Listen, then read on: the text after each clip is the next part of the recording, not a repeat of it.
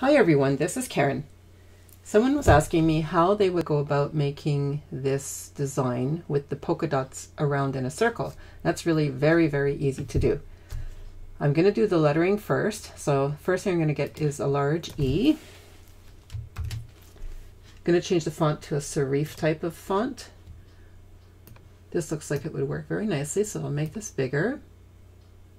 And I'll fill it in with pink so it looks like the image that we're working on. I'm also going to change this to a path so that my sizing is correct here. I'm going to fill it with pink. And I'm also going to make the lines pink. Then I'm going to write the name Ellie. And again, I want to change this to a prettier font.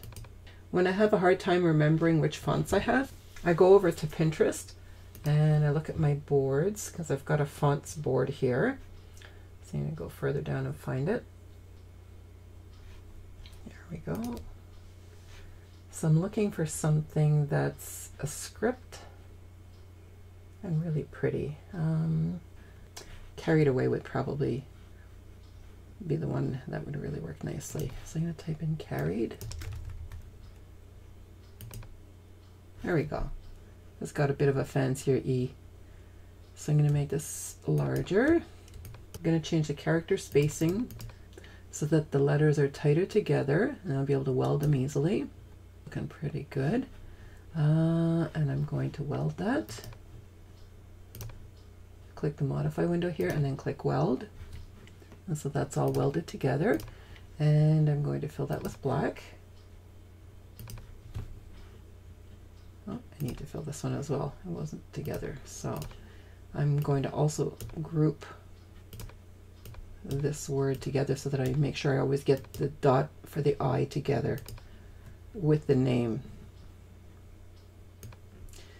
So I want that a little bit smaller so it fits on the E nicely, sort of similar to the photo. And now here comes the fun part. Click the ellipse tool, hold down my shift key, draw out a circle, let go of my mouse, and then let go of my shift key. I want to make sure that all of that is going to fit in there nicely. Could be a little bit smaller. And then what I'm going to do is move this out of the way. I'm going to look and see if that's how I want all of this together. That's fine. So I'm going to select everything and group them so that they always stay together the way they are. I'm going to bring the circle over here, and then I'm going to take all of this and I'm going to center it. So I'm just going to center that to each other. And then to create these dots, it's so simple. Select your circle, choose your rhinestone tool, and I want to fill it. Normally when you would be creating a rhinestone design, you're creating circles that are going to be cut so that you can fill those those circles with rhinestones. So I want to create an edge with circles like this and I want them larger a little bit and I want wider spacing. So you see how that's turning into the same thing as we have in the picture.